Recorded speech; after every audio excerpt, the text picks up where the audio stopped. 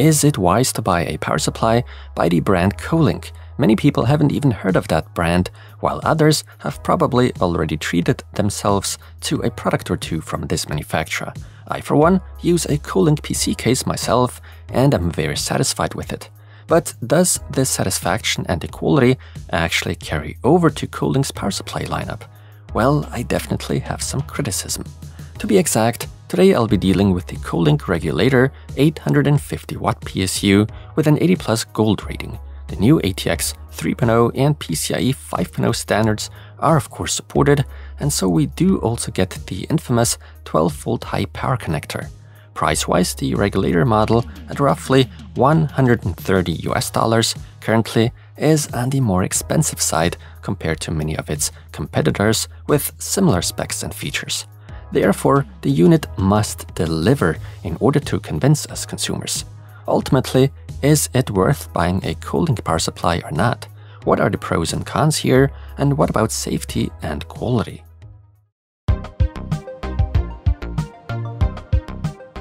The scope of delivery is fairly standard.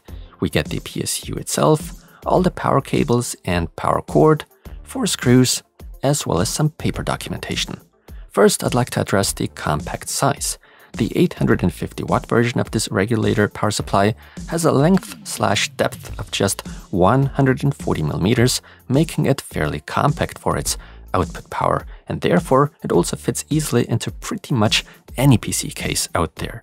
If it matters, the aesthetics are rather plain and simple. Design-wise, it's nothing out of the ordinary, really.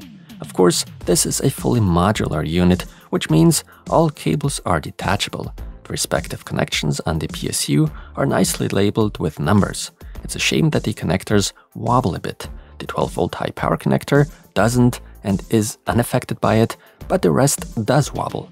This doesn't affect functionality, but you can tell that the manufacturer isn't particularly strict when it comes to quality in that regard. Now, due to its compact size, there's only room for a 120mm fan, which features a fluid dynamic bearing, FDB, and operates quietly. There's also a switch on the rear of the PSU for either turning the semi-passive mode on or off. In semi-passive mode, the fan remains off at a PSU load of up to 40%, so it doesn't make a sound.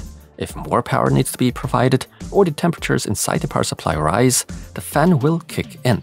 However, I prefer and recommend having the fan set to active cooling mode, in which the fan is constantly spinning. It's very quiet anyway. Kolink's regulator unit makes use of a single rail design with just a single 12 volt rail that's supposed to be able to provide 70.5 amps. All standard protections are on board. There's no need to worry about that, at least in theory. The requirements for the ATX 3.0 specification are met, and thus we also get a native 12V high power connector on the PSU side with a rated power of 600 watts. The cable length is quite satisfactory overall, I can't complain. Obviously, these are flat ribbon cables, which I personally prefer over sleeved ones, but some enthusiasts will disagree with me. At the end of the day, it's a matter of preference. The power connectors we get are as follows. One 24 pin, two CPU 8 pin, 4 PCIe 8-pin, one 12-volt high-power 16-pin at a rating of 600 watts, 6 SATA, and 4 Molex. For my taste, there could have been two more SATA power connectors, but since we are moving towards M.2 SSDs these days, it's understandable we don't get more. Alright, now I'd like to get a look inside such a regulator PSU, at this point, of course, I'd like to explicitly point out and warn you that opening up power supplies and touching any of the components inside can be fatal and life-threatening under certain circumstances. Unfortunately, my expertise, which is basically close to non-existent when it comes to power supplies, is not sufficient to successfully identify the platform used here. I'm a bit at a loss this time. However, the unit is kept very tidy, neat and has only few cables, which are generally good and welcome qualities. As expected, we do get LLC and a DC-DC converter.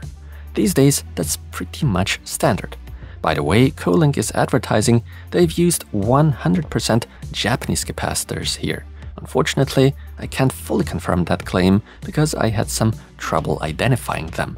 On the primary side, we can spot two electrolytic capacitors by the manufacturer Nippon Chemi-Con specified for 420 volts and 270 microfarad.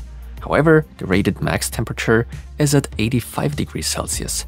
In 99% of cases, that's always sufficient, but I'd like to point out that even Nippon Chemi-Con has even more durable, better caps in their lineup with a 105 degree rating.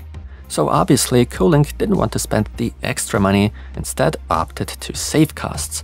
This isn't meant to be criticism, but I wanted to point that out.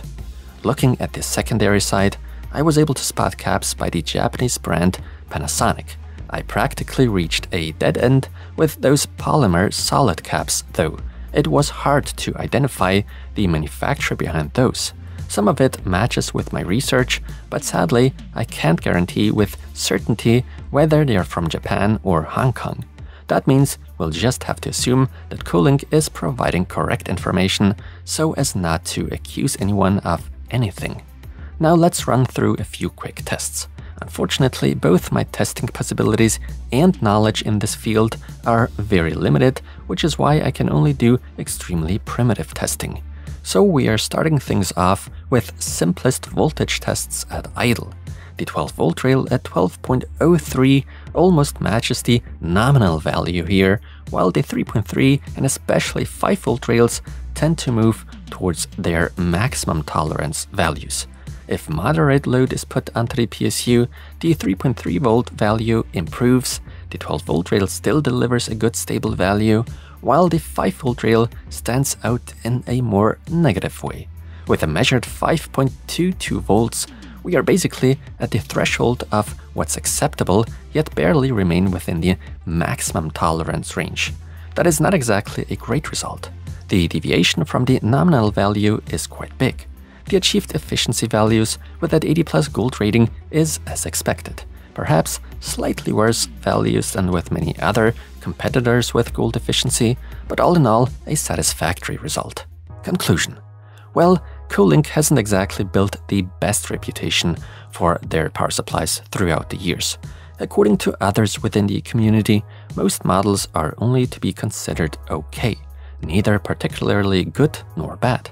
I too have come to that conclusion, the Kolink regulator PSU with 850 watts offers solid features across the board, but has some drawbacks here and there. I found the wobbly power connections on the PSU and, a bit annoying. The 5 volt rail which deviates noticeably from its nominal value also left a queasy feeling. And finally, at a price of roughly $130 for this unit, I feel like it's too expensive for what it offers. There are numerous competing models offering the same, if not even more, at a lower price. Nonetheless, today's regulator model also does some things well.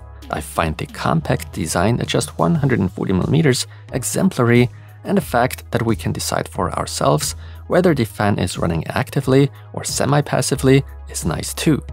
Other than that, the Kolink regulator power supply doesn't exactly stand out from the masses. While I kinda wish to refrain from giving out a recommendation, I can't advise against buying one either, as it's basically just okay. That's how I see it anyway. Now it's your turn. What would you rate this Kolink PSU like? Would you install one in your system, or would you have some reservations? If you enjoyed the video, I'd love receiving a like, but if not, there's always the dislike button to take care of that. With that in mind, thank you so much for watching, and until the next one.